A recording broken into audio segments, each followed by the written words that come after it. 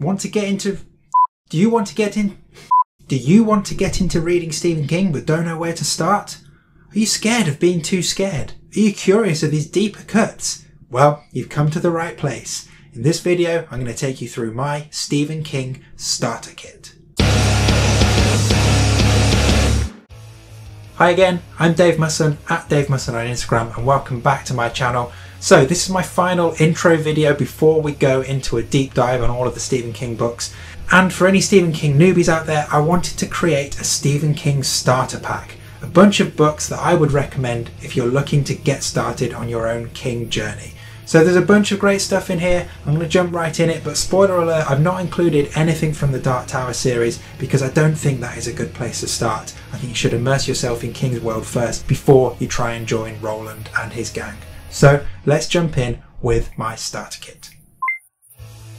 For a great starting point, look no further than Night Shift. It's his first short story collection, and King is a master of the short story. This has got a bunch of scary stuff in, like Children of the Corn and The Mangler, but it's also got some really great dramatic writing, like The Woman in the Room and The Last Rung on the Ladder. Well worth it. Oh, and being short stories, you can snack on them anytime you like. Easy.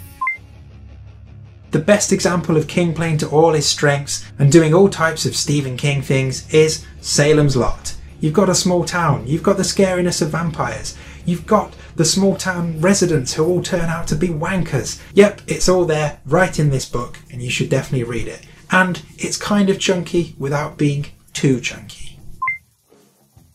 You want to be scared? Read The Shining. That's it, that's the explanation. The Shining not scary enough for you? Really want to fuck yourself up? Read Pet Sematary, you wicked little shit.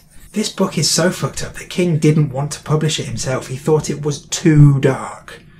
And yet, it is incredibly powerful. One of the best pieces of writing about grief you will ever come across. Yep, it's scary, but it will stay with you forever.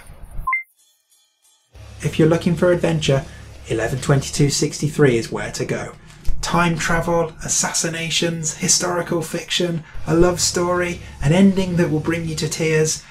It's got everything. A hipster choice, eh? Well, to be honest, any of King's mid 90s output can be deemed a deep cut. My favourite is Rose Madder. It's the finale of a trio of books where there is a strong woman as a character, and I just like this one the best, mainly because it's got weird supernatural stuff and a horrible bastard of the villain who turns into a weird horned creature. Now, if you think of Stephen King as only being able to scare you shitless, read The Green Mile and let him crush your soul and break your heart. It's wonderful. So, you know about King's pen name, right? Richard Bachman.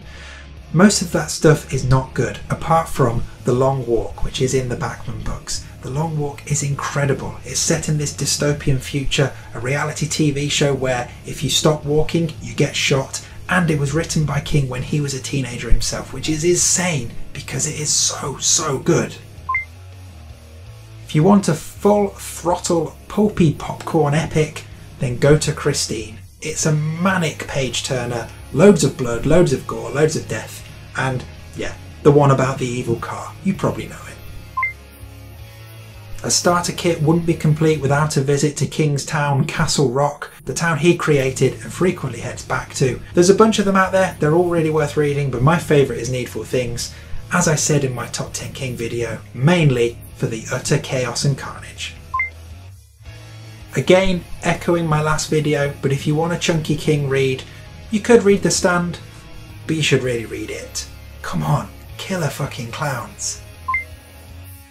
Once more, I'm repeating myself from my previous video, but if you want to feel all of the feelings, get involved with different seasons. This has King's full range dark, scary, weird, heartfelt, and a kid who vomits over his entire town. What more do you want? So, a question that gets asked quite a lot of people who are trying to get their kids into Stephen King is Are there any of his works that are particularly well suited to younger readers?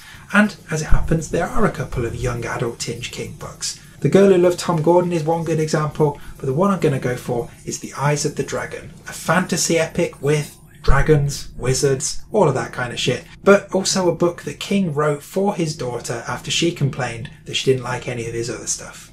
It's pretty good. Finally, one from me, and I'm going to keep banging the drum for it. It's The Dead Zone. It's my favourite. Read it. If you don't, we can't be friends. There we go. My King starter kit. Let me know what you think in the comments and if there's any that you think I've missed out. And join me next time where we will start our epic journey through all of King's bibliography, jumping in feet first into Carrie. Do hit me up on Instagram, subscribe to this channel, let me know what you think below. Check out my band Chapter 19, there's a link in the description. You've been listening to our song Stephen all the way through this. It's a song about Stephen King. Um, and I guess that's about it. I should probably stop talking now because I'm definitely going to drop these books. Thanks for watching and we'll see you real soon.